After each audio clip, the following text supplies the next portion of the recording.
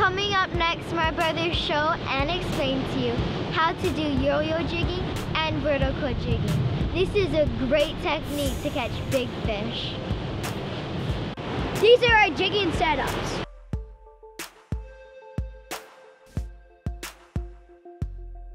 This is our basic yo-yo jigging setup.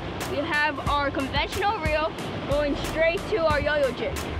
These jigs produce really good on top of the main line. You'll see on top of the video that they throw out the live bait. And even with the live bait on the hooks, the yo-yo jigs still outproduce them. For some reason, these are great jigs.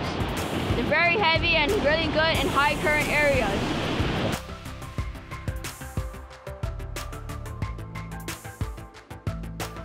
They call it a knife jig because of the shape of the jig.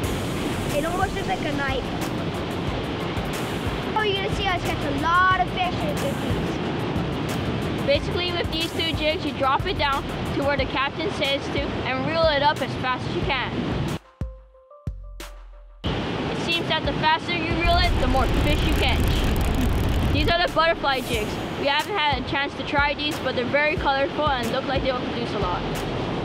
I like this jig a lot. I can't wait to try it. They're called butterfly jigs because when you're dropping them down, they'll flutter a lot. And that will attract a lot of fish and you'll get a lot of bites when you're dropping it down.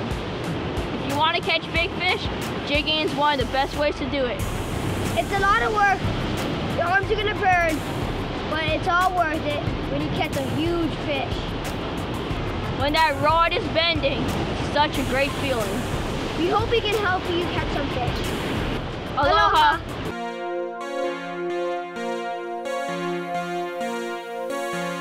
Mahalo for watching.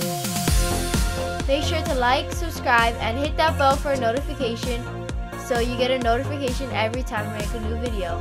Mahalos!